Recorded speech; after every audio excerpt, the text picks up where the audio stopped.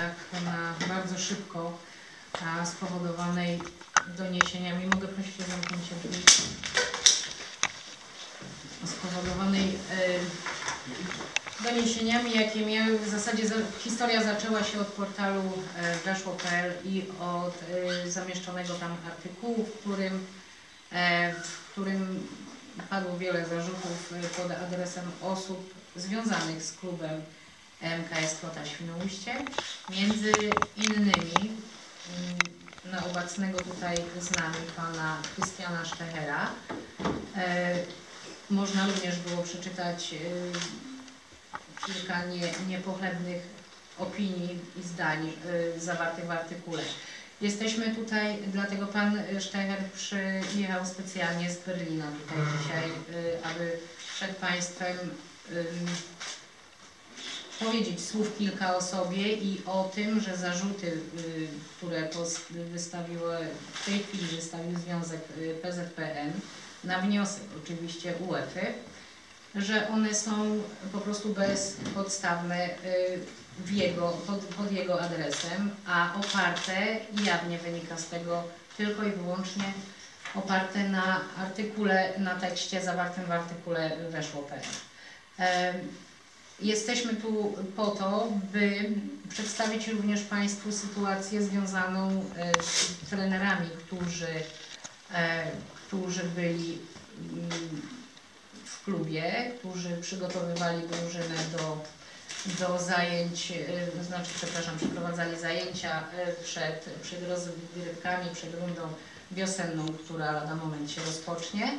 Mm, Jak Państwo wiecie już z wcześniejszych e, informacji, e, trener, e, który miał być pierwszym trenerem we flocie, nie posiadał uprawnień, czyli licencji UEFA Pro, która pozwalałaby bez przeszkód na prowadzenie zespołu pierwszoligowego w Polsce. Dlatego też z tego powodu my, jako klub, czyli jako Stowarzyszenie MKS Flota Świnoujście, nie podpisaliśmy kontraktu ani z jednym, ani z drugim trenerem, właśnie z powodu braku wymaganych, wymaganych dokumentów.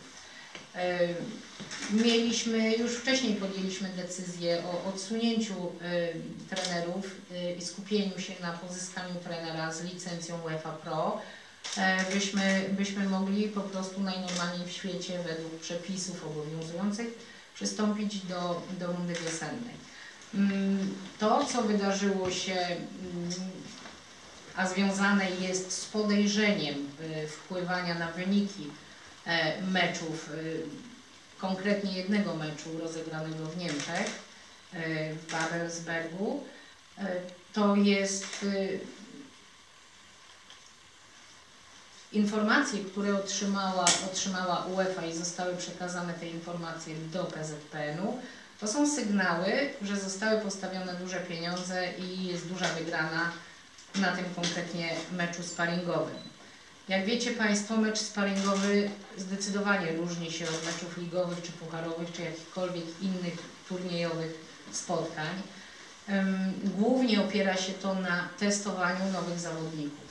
Mecz w Babelsbergu był tak naprawdę pierwszym sparingiem i jak wiecie doskonale flota po rundzie jesiennej em, straciła wielu zawodników, wiodących zawodników, tak? Pozostało w klubie, pozostało, pozostało ich kilku i trzeba było rzeczywiście całkowicie na nowo budować, jak to zresztą było każdego sezonu, całkowicie od nowa budować, budować nową, nową drużynę.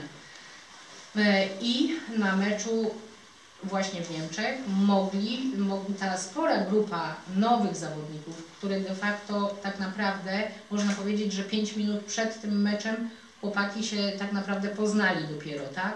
Pierwsza połowa i druga połowa były, były przeprowadzone zmiany, ale to też wymagało i to zawsze tak jest, obojętnie na jaki sparring nie spojrzymy.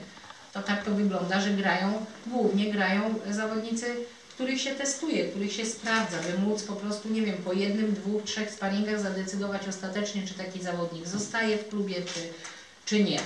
Więc y, oskarżenie, że, że gdzieś było ustawienie y, tego meczu, że, że akurat konkretnie z tym ustawieniem powiązani są nasi trenerzy e, i obecny tutaj e, pan Krystian Sztecher, jest dla nas rzeczą niezrozumiałą, ponieważ tak naprawdę żadnych dowodów prócz tekstu zawartego na portalu weszło.pl nie ma.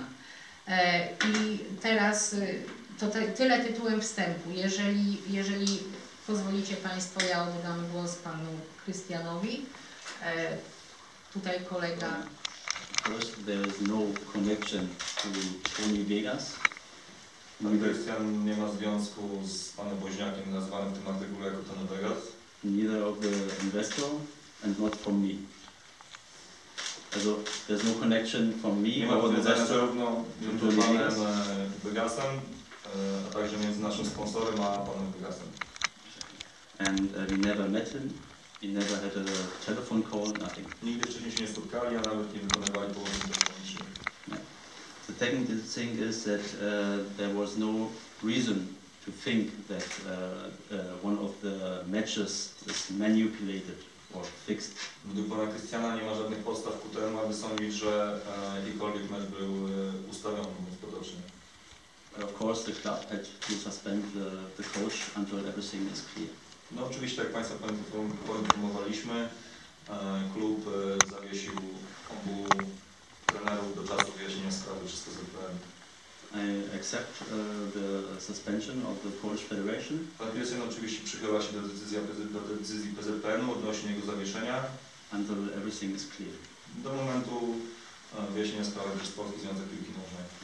And uh, if you like, we can uh, ask some questions about everything. Jeżeli ktoś z Państwa ma jakiekolwiek pytania do Pana Krystiana, to zapraszamy.